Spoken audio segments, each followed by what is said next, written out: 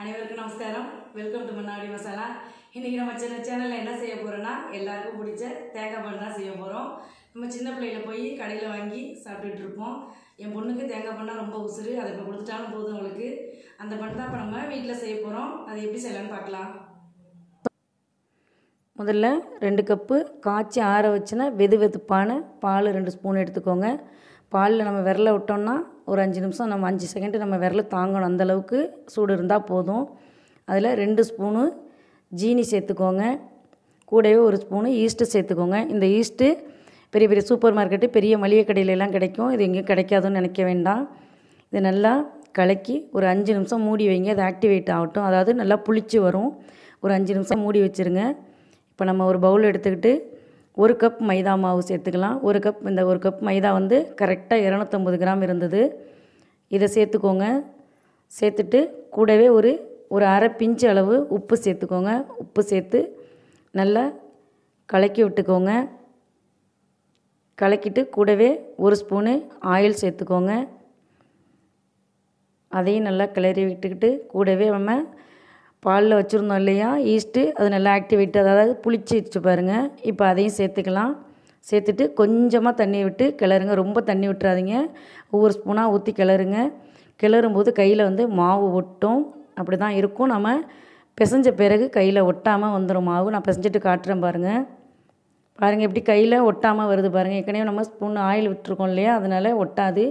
நல்லா ஒரு பத்துலேருந்து பதினஞ்சு நிமிஷம் நல்லா இழுத்து இழுத்து நல்லா பிசையணும். இல்லைன்னா அடுப்பு மேடையில் வச்சு சுத்தம் பண்ணிவிட்டு கூட நம்ம பிசைஞ்சிக்கலாம். அப்போ தான் நல்லா சாஃப்டாக இருக்கும். இப்போ ஒரு ஸ்பூன் எண்ணெய் விட்டு இந்த பவுலில் சைடில் தடவிக்கோங்க.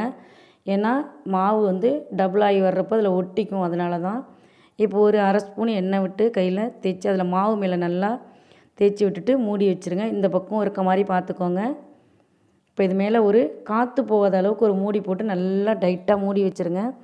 அப்படி காற்று போகிற மாதிரி இருந்துச்சுன்னா ஈர டவலை தண்ணியில் நனைச்சிட்டு அது மேலே நல்லா சுற்றி மூடி எடுத்து வச்சுருங்க.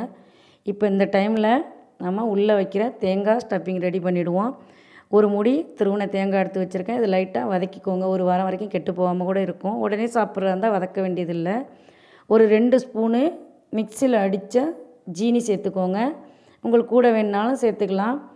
ஒரு கால் கப்பு டூட்டி ஃப்ரூட்டி சேர்த்துக்கோங்க. இது நல்லா டேஸ்ட்டாக இருக்கும். பார்க்குறதுக்கு நல்லா அழகாக ரிச்சாக இருக்கும். ஒரு ஒரு ஏலக்காய் தட்டி சேர்த்துக்கோங்க. ஒரு கால் ஸ்பூன் அளவுக்கு நெய் சேர்த்துக்கோங்க. இது தேவைப்பட்டால் சேர்த்துக்கலாம் இல்லைன்னா வேண்டியதில் நல்லா வாசனையாக இருக்கும். அதுக்காக சேர்த்துக்கிறேன். இப்போ நல்லா கிளறி விட்டுக்கலாம். அவ்வளோதான் உள்ளே வச்சுக்கிறேன் தேங்காய் பூரணம் ரெடி ஆகிடுச்சு எவ்வளோ அழகாக இருக்குது பாருங்கள் இப்போ மாவு பாருங்கள் கரெக்டாக ஒரு மணி நேரமும் இருபது நிமிஷமும் ஆச்சு. புளிச்சிருச்சு. இப்போ நல்லா அதில் கையால் பஞ்ச் பண்ணிவிட்டு அந்த ஏர் பப்பிலெல்லாம் போகட்டும். அதெல்லாம் போக விட்டுட்டு மறுபடியும் ஒரு அஞ்சுலேருந்து ஒரு ஒரு ஏழு நிமிஷம் நல்லா இழுத்து பிசைஞ்சு விட்டுக்கோங்க. நல்லா வெண்ணெய் மாதிரி வரணும். அப்போ தான் நமக்கு அந்த தேங்காய் பண்ணு நல்லா புஷ்ஷுன்னு இருக்கும். அதுக்காக தான் அப்படி பிசைகிறது இப்போ இதை ரெண்டு பாகமாக நம்ம பிரிச்சுக்கலாம். கொஞ்சம் பெரிய சைஸ் பாலும் ஒரு சின்ன சைஸ் பாலும் எடுத்துக்கோங்க.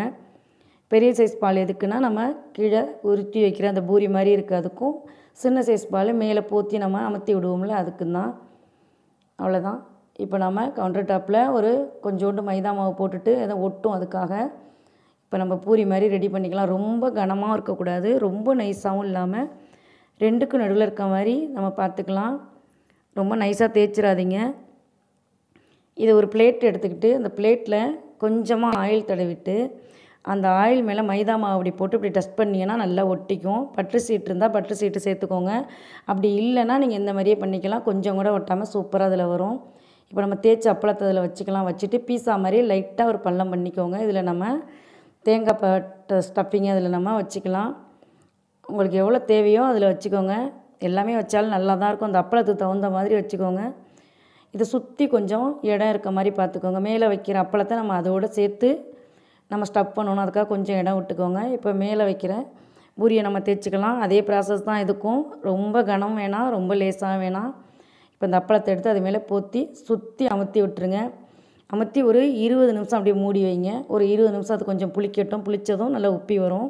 இப்போ நான் இருபது நிமிஷம் வச்சுருந்து எடுத்திருக்கேன். எப்படி உப்பி இருக்க பாருங்கள் அதுக்குள்ளே நீங்கள் அடுப்பில் ஸ்டவ்வில் ஒரு குக்கர் எடுத்துக்கோங்க. எம்டி குக்கர் எடுத்து கொஞ்சம் போல் கல் உப்போ இல்லை மணலோ இல்லை நைஸ் உப்போ ஒரு கால் இன்ச்சு கணத்துக்கு ஒரு அஞ்சு நிமிஷம் மூடி வச்சு ஃப்ரீ ஹீட் பண்ணி எடுத்துக்கோங்க. இப்போ நான் ஃப்ரீ ஹீட் பண்ணி தான் வச்சுருக்கேன்.